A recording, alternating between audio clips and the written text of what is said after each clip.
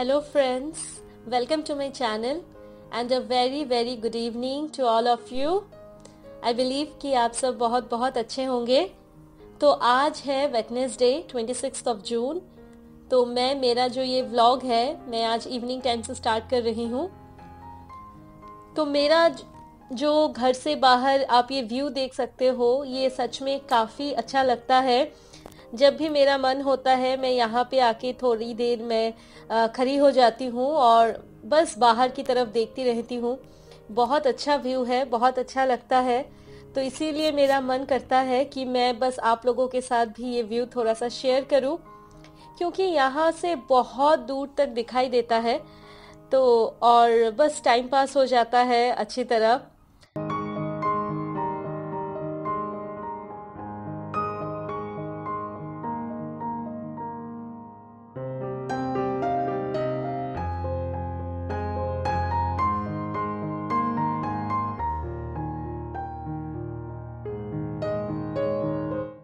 और अभी रोहन स्कूल से आ गया है और वो स्नैक्स कर रहा है अपना। तो आज मैंने उसे एक पैनकेक टाइप बना बना के दिया है। एक अंडा लिया था मैंने और उसके साथ थोड़ा सा आटा मिक्स करके और कुछ भी अगर वेजीज हम देना चाहते हैं तो हम ऐड कर सकते हैं। तो बस इसी तरह से मैंने एक पैनकेक बना के दिया था, जो उसे काफ़ी पसंद है। और अभी मैं अपने लिए थोड़ा सा स्नैक्स बना रही हूँ। आज एक्चुअली मेरे हस्बैंड थोड़ा जल्दी आ गए थे तो हमने सोचा कि आ, हम स्नैक्स में कुछ आ, मतलब हम बंगाली स्पेशल हम बोलते हैं मूरी माखा जो पॉप्ड राइस होती है मुरमुरे होते हैं उसका उसको बस चाट की तरह आ, बनाते हैं। तो वो हम खाएँगे। तो उसके लिए मैं बस आलू को चॉप करके मैं बॉईल करने के लिए रख दूँगी। और बाकी आ, कुछ भी ऑनियंस में आज ज़्यादा कुछ मैंने नहीं दिया है, बाकी नहीं तो इसमें जो खीरा होता है क्यूकम्बर फिर टमाटर, बहुत कुछ इसमें डलते हैं, लेकिन मैंने सिर्फ़ ऑनियन और आलू और जो कोरिएंडर लीव्स होते हैं, बस उसी के साथ ही बनाया था, एकदम सिंपल सा।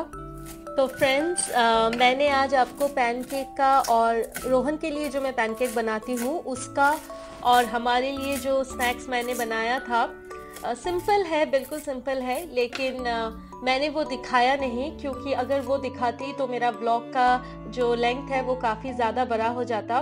तो इसीलिए मैंने वो दो रेसिपी आप लोगों के साथ आज शेयर नहीं की, मैं किसी दिन पक्का आप लोगों के साथ शेयर करूँगी और दिखाऊँगी कि मैं किस तरह से बनाती हूँ।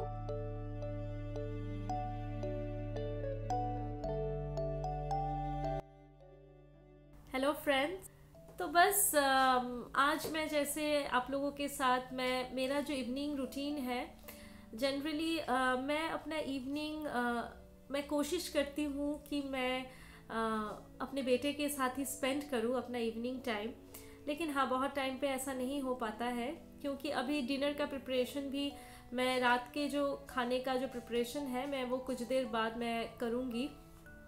तो उसके पहले का जो टाइम होता है तो मैं सोचती हूँ कि मैं उसके साथ स्पेंड करूँ। जितना भी काम रहे आ, मैं साइड में रख के ये मेरी कोशिश रहती है। क्योंकि एक बच्चा होल डे स्कूल में रहता है मॉर्निंग से आफ्टरनून तक तो फिर वो आने के बाद उनके अंदर भी बहुत सारी ऐसी बातें होती है कि वो लोग भी हम लोगों के साथ शेयर करना चाहते हैं। तो हमें भी थोड़ा सा टाइम देना चाहिए। तो मैं सोचती हूँ कि ये टाइम मैं फुल्ली उसके लिए आ, मैं डेडिकेट करती हूँ कि मैं आपके साथ ही रहूँ। तो बस हम दोनों बातें करते हैं कि क्या हुआ स्कूल में क्या नहीं हुआ आपने क्या क्या किया तो ये सब बातें होती है। फिर कुछ गेम्स वगैरह हम खेल लेते हैं। अभी तो जैसे वेदर ठीक नहीं है दो तीन दिन से बहुत ही क्लाउडी है। तो इसीलिए यहाँ पे हमारे मतलब हमारा जो अपार्टमेंट है, वहाँ पास ही दो तीन ग्राउंड है, बहुत बड़े बड़े ग्राउंड है। तो जब क्लाइमेट अच्छा रहता है, वेदर अच्छा रहता है तो मैं जाती हूँ कभी रोहन को लेके तो वो वहाँ पे खेलता है। और वैसे ही उसके फ्रेंड्स भी हैं यहाँ पे तो कभी कभार उन लोगों के साथ भी वो खेल लेता है। तो इस तरह से, और अगर कहीं पे जाना नहीं हुआ तो बस घर में मम्मी ही है उसकी बेस्ट फ्रेंड तो मम्मी को ही जो जो खेलना उसको पसंद है, हमें थोड़ा बहुत टाइम देना होता है। तो डिनर वगैरह होने के बाद बस मैं रोहन को फ़र्स्ट दे देती हूँ क्योंकि वो खाना खा के फिर थोड़ी बहुत खेलता है, फिर वो सो जाता है क्योंकि मॉर्निंग स्कूल होता है। तो अगर बच्चे जल्दी सो जाए तो उनके लिए अच्छा है कि वो काफ़ी मतलब उनके एक रेस्ट टाइम उनको रेस्ट लेना काफ़ी ज़्यादा इंपॉर्टेंट है, क्योंकि अभी उनको नींद की काफ़ी सख्त ज़रूरत होती है। तो बॉडी पे जितना बॉडी रेस्ट करेगा वो अच्छा है, क्योंकि नींद उनके लिए बहुत बहुत इंपॉर्टेंट है। नींद हम सबके लिए इंपॉर्टेंट है, लेकिन हाँ बच्चों के ग्रोथ के लिए, बच्चों के लिए वो काफ़ी इंपॉर्टेंट होती है। तो बस बीच में कुछ स्टडीज़ वगैरह भी हो जाती है, कुछ राइटिंग रीडिंग ये सब हम मिलके करते हैं। तो इस तरह से मेरा इवनिंग जाता है, फिर रोहन के पापा आ जाते हैं। अभी अगर वो जल्दी आ जाते हैं तो बस साथ में वो लोग खेल लेते हैं। और उनका अगर थोड़ा सा काम ज़्यादा रहता है, थोड़ा लेट होता है आने में तो रोहन तब तक सो ही जाता है। फिर मॉर्निंग में पापा के साथ उसका मतलब वो लोग मिलते हैं मॉर्निंग के टाइम और आप लोग भी मुझे बताना कि आप लोगों को मेरा ब्लॉग कैसा लगता है, कैसा लग रहा है। अगर कुछ भी आपके सजेशंस हो, कुछ भी व्यूज़ हो प्लीज़ मुझे कमेंट सेक्शन में ज़रूर बताइएगा, क्योंकि आप लोगों के सपोर्ट के बिना मैं आगे नहीं बढ़ सकती। तो बस मैं भी कोशिश करती रहूँगी कि मैं अच्छे से अच्छा ब्लॉग आप लोगों के सामने प्रेजेंट करूँ। और आप लोगों के कमेंट्स हो या फिर लाइक्स हो, जो भी है, वो देख के मैं भी मोटिवेट होती हूँ कि और भी अच्छा काम करूँ और अच्छे से ब्लॉग्स बनाऊँ। तो चलिए, मैं मिलती हूँ आप लोगों के साथ। फिर से जब डिनर बनाती हूँ, मैं आप लोगों के साथ मिलती हूँ।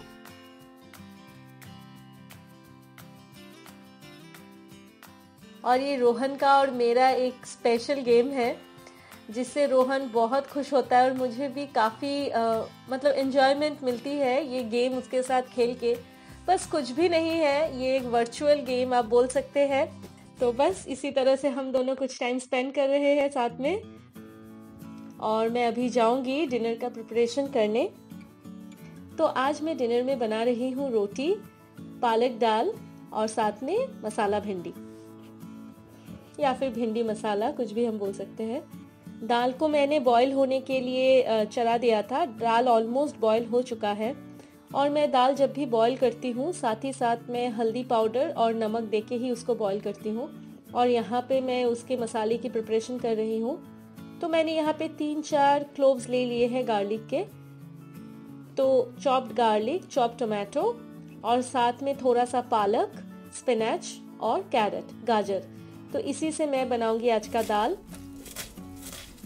बहुत टाइम पे ऐसा होता है कि मैं गाजर को दाल के साथ ही बॉईल कर लेती हूँ। लेकिन आज मैंने गाजर को पालक के साथ ही आ, मैंने कुक किया था।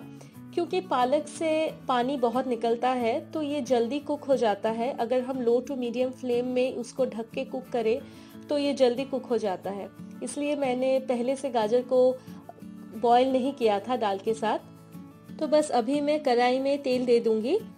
मैं मस्टर्ड ऑयल का यूज़ करती हूँ। मैंने मस्टर्ड ऑयल का ही यूज़ किया है।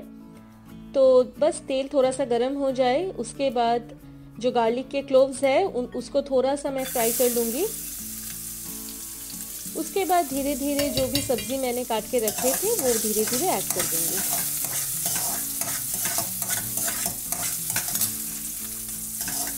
गार्लिक को थोड़ा सा फ्राई करने के बाद टमाटर मैंने डाल दिया है।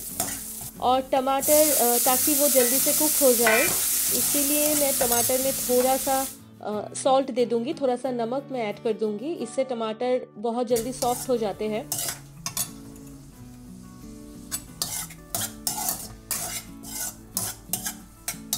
मसालों में मैंने सिर्फ़ एकदम कम मैंने जीरा पाउडर क्यूमिन सीड्स पाउडर और आ, कश्मीरी रेड चिली पाउडर मैंने थोड़ी सी दी है।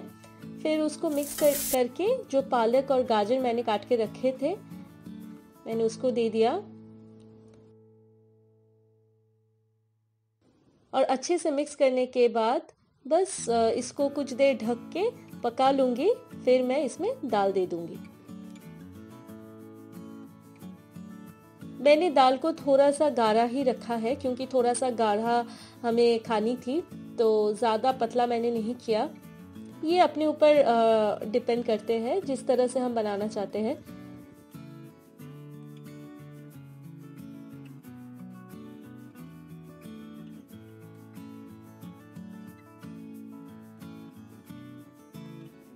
और मैंने जैसे कहा आपसे कि यहाँ पे आप देख सकते हैं कितना क्लाउडी है। वेदर पूरा आसमान एकदम क्लाउड से भरा हुआ है। तो मैंने सोचा बस इसका एक छोटा सा ग्लिम्स मैं आपको दिखा देती हूँ। और बस लास्ट में दो ग्रीन चिली देके मैं ग्रीन चिली को स्लिट करके बहुत कम देती हूँ, क्योंकि रोहन बिल्कुल भी वो तीखा खा नहीं पाता है। तो ये थोड़ी सी प्रॉब्लम है। तो इसीलिए मैं हमेशा एक फुल ही देती हूँ, जिसको अगर अगर हमें खानी है तो हम ऐसे ही खा लेंगे। और उसके बाद मैंने कोरिएंडर लीव्स दे दिए थे और और बस थोड़ा सा कुक किया तो दाल बस रेडी था मेरा। तो अब मैं बनाऊँगी भिंडी मसाला। तो बस भिंडी मसाले के लिए फ़र्स्ट मैं भिंडी को चॉप कर लूँगी। ऐसे ऐसे मीडियम साइज़ टुकड़ों में मैं काट लूँगी इसको।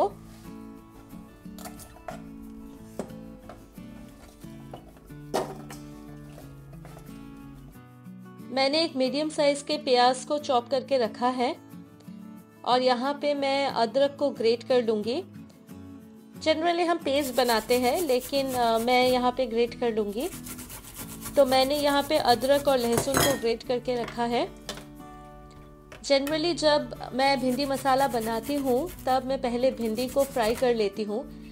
फिर मैं मसालों का प्रिपरेशन करती हूँ, मसाले बनाती हूँ। लेकिन नॉर्मली जब मैं घर में बनाती हूँ तो मैं भिंडी को फ्राई नहीं करती पहले। मैं लास्ट में उसको मसालों में ऐड कर देती हूँ। लेकिन यकीन मानिए फ्रेंड्स बहुत बहुत टेस्टी होता है खाने में। आ, मैंने इस तरह से ही बनाया। तो मैंने यहाँ पे तेल गरम कर लिया था फिर वहाँ पे जीरा मैंने जीरा दे दिया। बस उसको थोड़ा सा भून के फिर उसमें मैं दे दूँगी हींग। थोड़ा सा चला लेंगे, फिर ऐड कर दूँगी जिंजर गार्लिक जो मैंने ग्रेट करके रखा था। इनको तब तक भूनेंगे जब तक गार्लिक का एक रॉ स्मेल होता है, वो रॉ स्मेल चला जाए, तब तक इसको भून लेंगे।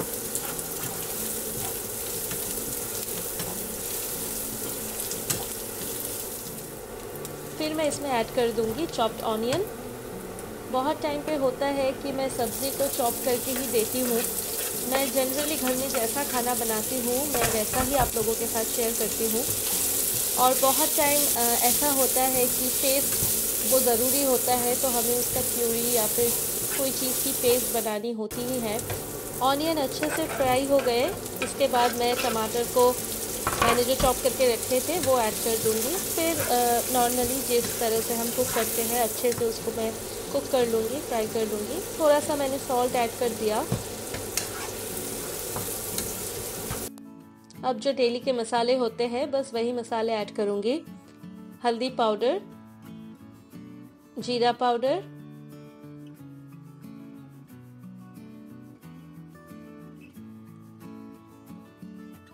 कोरिएंडर पाउडर और बस कलर के लिए थोड़ा सा कश्मीर रेड चिली पाउडर मैं पहले कश्मीर रेड चिली यूज़ नहीं करती थी, लेकिन हाँ एक साल से मैं ये थोड़ा थोड़ा यूज़ करती हूँ। अच्छा लगता है। थोड़ा सा कलर भी अच्छा आता है। तो बस यहाँ पे मैंने भिंडी दे दी और इसको मैं अच्छे से मसालों के साथ मिक्स कर लूँगी। और अभी इसको लो टू मीडियम फ्लेम में मैं ढक के कुक करूँगी। सॉल्ट भी हम अपने टेस्ट के अकॉर्डिंग ही देते हैं।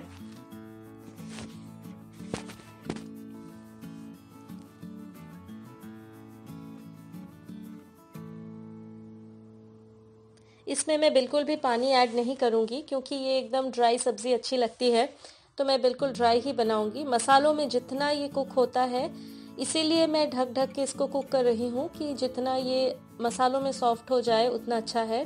तो बस मेरी भिंडी बिल्कुल रेडी है।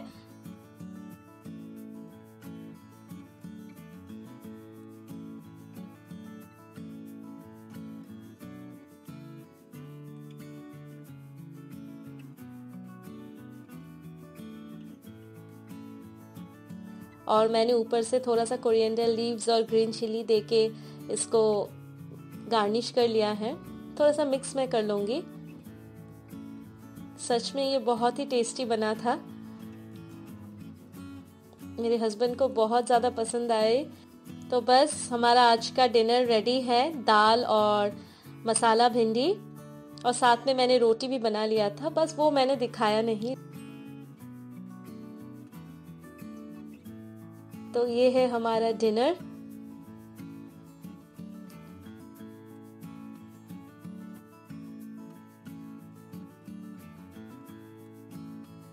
तो आई होप आप सबको आज का मेरा ये व्लॉग अच्छा लगा है और आप लोग प्लीज़ मुझे सपोर्ट करते रहिए ताकि मैं और आगे बढ़ पाऊँ। तो सब अच्छे से रहिएगा और अगर मेरा ये व्लॉग अच्छा लगा है तो इसे एक लाइक ज़रूर कीजिए। और कमेंट करके मुझे ज़रूर बताना कैसा लगा। और मेरा चैनल अगर अच्छा लग रहा है तो इसे सब्सक्राइब ज़रूर कीजिए। और सब्सक्राइब जो लिखा रहता है रेड कलर में, उसको क्लिक करने के बाद आप साथ में उसके पास ही देखेंगे, एक बेल साइन है, एक बेल आइकॉन है। जिससे नोटिफिकेशन मिलती है तो आप ज़रूर उसको क्लिक कीजिएगा। अगर आप उसको क्लिक नहीं करते तो जो भी मेरे न्यू वीडियोस आते हैं, या फिर जो भी मेरे नए व्लॉग्स आते हैं, उसके नोटिफिकेशंस आपके पास नहीं जाएँगे। तो फ्रेंड्स आप सब बहुत बहुत अच्छे से रहिए और अच्छे से अपना टाइम स्पेंड कीजिए और खुश रहिए। तब तक के लिए मैं मिलती हूँ आप लोगों के साथ मेरे किसी नए वीडियो और ब्लॉग को लेके। तब तक के लिए bye bye good night and take care